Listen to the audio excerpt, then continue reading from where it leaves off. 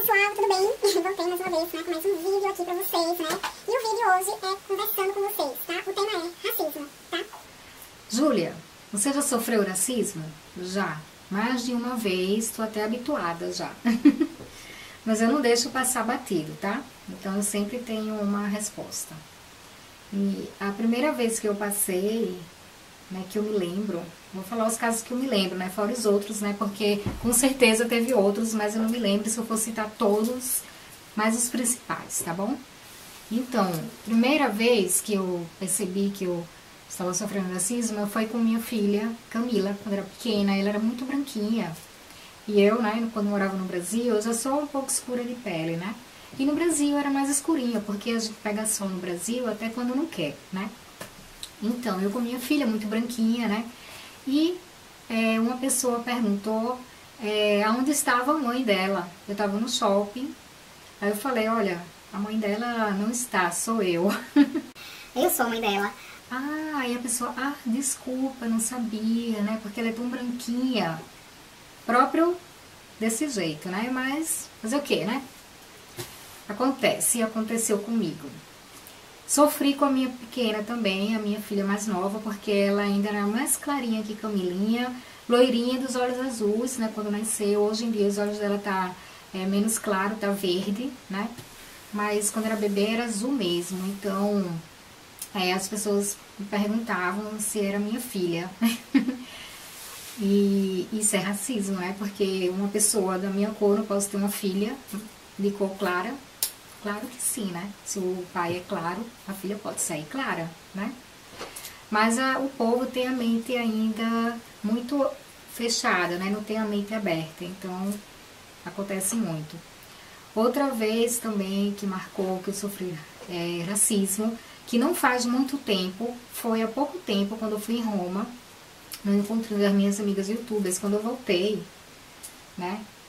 É, foi um avião pequenininho, só tinha oito pessoas comigo dentro do avião. E quando a gente saiu para pegar as malas, né, aí tem um controle. Todo mundo passou no controle, aí tinha dois policiais da Polícia Federal e eles não pararam ninguém. Parou quem? Euzinha, né? Por quê? Porque cabelo cacheado, escurinha, né? Então eles pensaram que eu era uma estrangeira, que talvez eu não tinha documento, um pouco de é, é racismo, né? Então eles me pararam e pediram para abrir a minha, mala. Aí eu falei, tudo bem, não tem problema, pode abrir a minha mala, não tem problema, mas aí depois eu coloco como estava antes a minha mala, ok?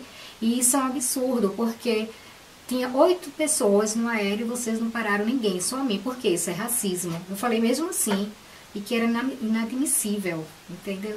Uma coisa do gênero. E eles lá tentando se defender, eu fiz uma ocasião, uma confusão na hora. Mas tudo bem, né? A gente passa por essas coisas. E a outra foi é, aqui na Suíça também, eu entrei numa loja para pedir informação e a mulher me tratou malíssima, disse que nem queria falar comigo. Não, já foi logo dizendo, ah, você está procurando tra é, trabalho é, não tenho, não tenho interesse, eu exclusivo. Estou trabalhando, cercando, é, procurando trabalho, não preciso, eu tenho uma, sou proprietária de uma lavanderia, não preciso, tá? É, eu queria informação, mas não, não, mas eu não tenho tempo, não sei o quê. Aí eu, meu Deus, é, eu falei, assim que você trata suas clientes quando entra na loja para pedir informação, por isso que não tem mais ninguém aqui, né? É sempre vazio. Agora eu sei o motivo, né? E fui embora, né? Fiquei muito chateada, porque ela pensou o quê? que eu ia pedir dinheiro a ela. Até porque só em me olhar se vê que eu sou uma pessoa que não preciso. Graças a Deus eu não preciso. Tá pedindo dinheiro. É mais fácil ajudar do que eu pedir, né?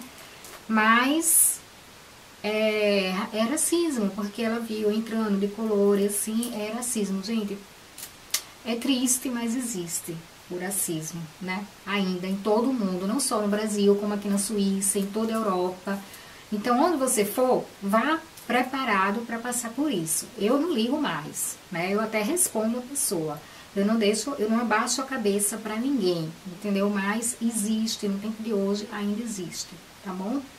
E por isso que eu tô aqui falando para vocês, principalmente para vocês que querem sair do Brasil, morar em outro lugar, e a escurinha assim de cor, se prepara, minha amiga, que vai ter sempre, tá? Se prepara. Agora, um engraçado que eu sempre comento, né, para o meu marido, que quando eu não tinha documento, ninguém me parava nos aeroportos. Agora que eu tenho, o povo para. Sorte minha, né? Mas é assim mesmo. Então, é isso. É, alguns casos que eu passei e eu quis contar aqui pra vocês, tá? Se mais alguém passou por isso, deixa aqui nos comentários, tá bom? Que é muito bom poder compartilhar essas coisas, né? Uma com a outra. E é isso, não abaixem a cabeça e não deixe de fazer as coisas por isso, minha gente, tá? Vão em frente, não deixe o racismo abater vocês, tá bom? Mas que existe, existe, ok? E o vídeo de hoje é esse, espero que vocês tenham gostado. Não esqueça do meu joinha, de se inscrever no canal que ainda tá aqui inscrito, ok? E até os próximos. Tchau, fiquem com Deus. Olá pessoal, tudo bem? Voltei mais uma vez, né, com mais um vídeo aqui pra vocês, né? E o vídeo hoje é conversando com vocês, tá? O tema